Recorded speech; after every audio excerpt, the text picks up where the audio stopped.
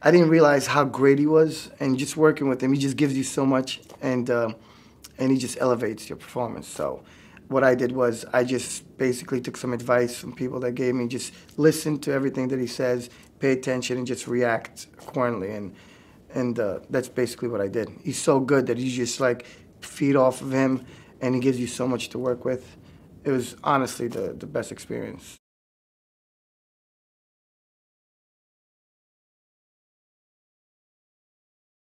I, I just feel very fortunate to, to get the role. And, uh, and in the beginning, I didn't want to put too much pressure on myself. I felt like, you know, everyone kept telling me, you know, Michael Shannon is the most intense, incredible actor. And obviously, I'm a big fan.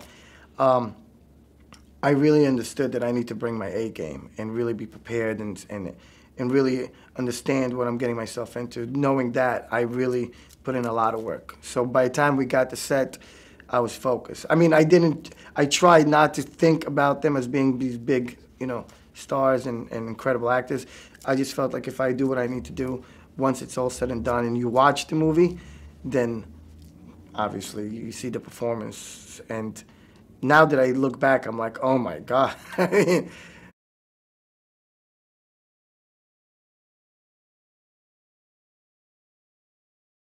Probably the hospital scene at the end. Only because when I read the script and talked to the director, he was explaining to me that we're doing it and uh, we're sitting around a table having coffee, and he was going to shoot it in three different directions, where in my POV and his POV.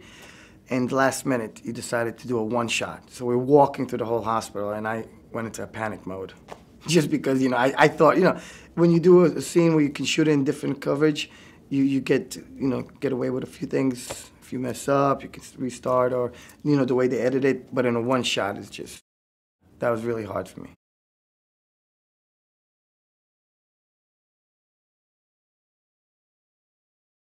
Wow, he was a psychopath. I mean, Mike plays him so well that he kind of gives him like a human side to him. That's why I think at the end of the movie, people kind of like obviously you realize he's a killer, and. Uh, and uh, you don't feel bad, you know, for what happens to him at the end. But you kind of relate that, you know, he, he loved his family so much. You kind of feel bad a little bit that it happened. Um, but I, I, mean, I think the guy was just crazy. But uh, just watching the documentaries and watching his mannerism and the way he talked, it doesn't seem like anyone I would want to know. I mean, to be honest.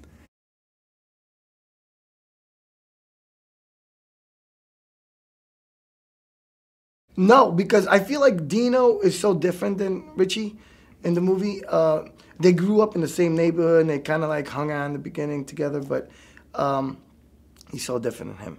Richie's so intense, and, and I feel like Dino's more like a follower and kind of like just wanted to hang around and just be a part of like the success. He feels like he's being very successful because he sees him paying for dinners, he's all dressed up, the wife, the kids, not realizing what he really does. I grew up in Brooklyn, so I've been around those people a little bit, and, and nothing like the Iceman.